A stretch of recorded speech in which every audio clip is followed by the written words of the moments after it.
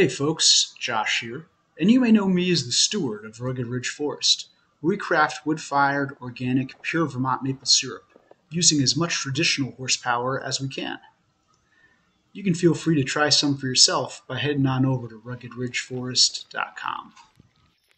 Today I'm going to tell you about my experiences fabricating a utility sled for my horse Hilde. I've also added a Pioneer style quick hitch that allows me to substitute a straight pull for shafts when working with a two horse team. Pioneer does make a sled very similar to the one I created. I decided to fabricate this one myself because I enjoy the act of designing and fabricating, and there were a handful of small changes to their design that I wanted to adjust for my purposes. Also, if you don't count my time, I probably saved a few bucks versus just ordering one from them. Last year, I built a prototype sled out of wood. I experimented with what are called box shafts that allow you to use a team harness with a single horse. Though many people rave about box shafts, Hilde didn't love it and often clanked her chin on the forward portion, especially when she dropped her head down to back up.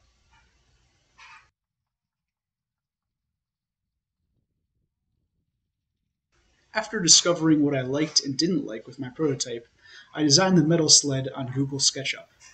I checked out my friend's old Pioneer sled to get a rough idea of stock sizing and dimensions for each component. I then ordered the steel and started fabricating. It probably took me 30 hours of nights and weekends, but who keeps track of that time anyway?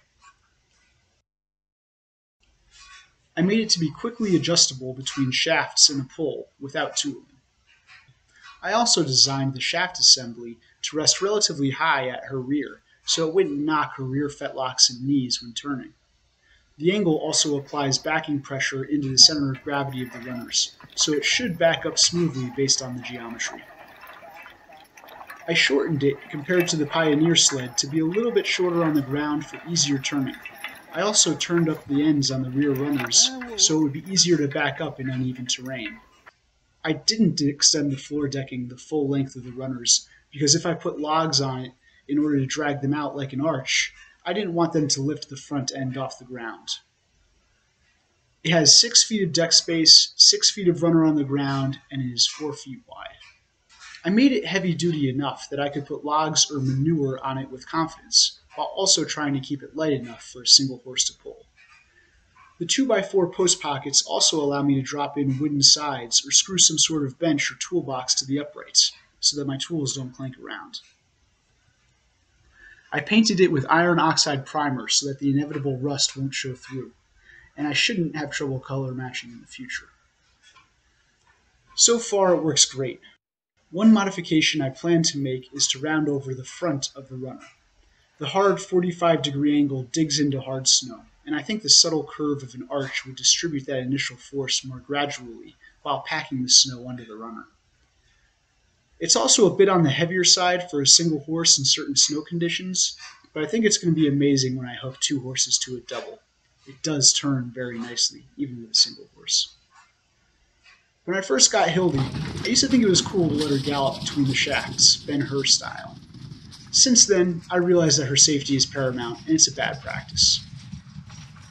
She is a very forward horse, and I was allowing her training to slip to the point that she would keep accelerating until I told her otherwise, thinking that I wanted the most out of her at every moment. Since then, I've shifted her training to be more focused on control, slowing the sled on descents, only going as fast as I ask, and being very deliberate with my speed, directional, and whoa cues. She's an amazing horse and has met me where I've been at every step of the way.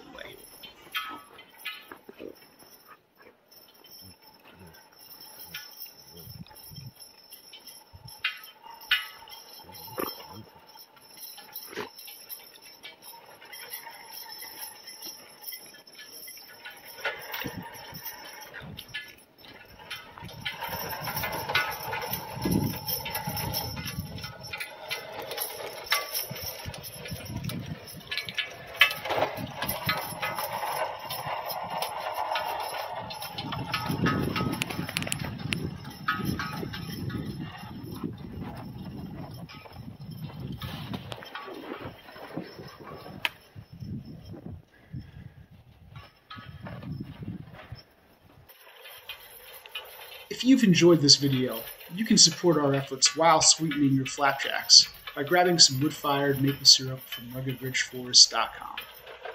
Also feel free to like and subscribe for more of our on the farm content. Thanks and have a great day.